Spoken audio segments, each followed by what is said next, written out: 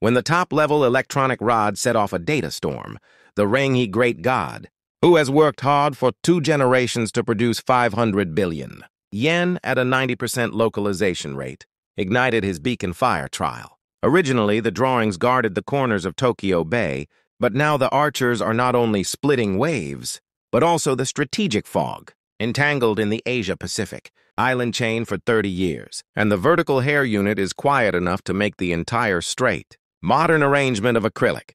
Recently, the Japanese cabinet approved a $540 billion supplementary defense budget, of which 74 million will be used to accelerate the construction of two top-class frigates. As a masterpiece of Japan's new century maritime strategy, the top class is now armed to the teeth, and its modular design also leaves room for future upgrades.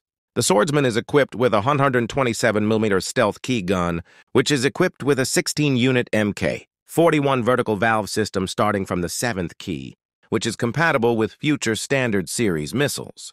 At the rear of Cambridge, there are two four-pile anti-ship missiles, as well as two 324mm anti-forward torpedo launchers. To deal with saturation attacks, he is also equipped with two Hailam anti-defense missiles system. There is a large hangar on the line, which can carry a Haiying anti-front helicopter. At the same time, the operating space of unmanned surface vehicles and unmanned underwater vehicles is reserved to adapt to the future trend of unmanned combat. At present, a total of 11 ships of this class have been launched, and the first one was built in 2022. The design of the most advanced class in service is also in line with the world trend, adopting the mature layout of deep V-shaped hull and square janway.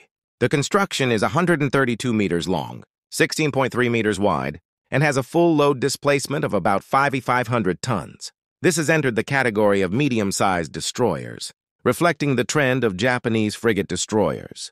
Its power uses a wood-fired combined power system, and the maximum speed can reach 30 knots. The stealth design is one of the characteristics of the most advanced class. The superstructure adopts a closed polyhedral integrated structure, and the surface equipment is covered.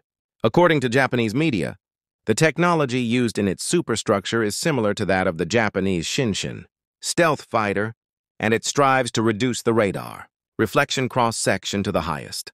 Level of fishing boats. The most iconic feature is the electronic rod on the top, which is made of a monolithic pouring process and composite materials, and has a built-in dual-band radar system.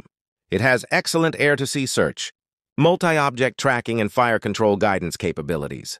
The Japanese side claims that it can even detect and track the trajectory of the artillery shell of the naval gun. Thanks to the onboard coordinated engagement capability system, it can realize real-time data fusion with other ships.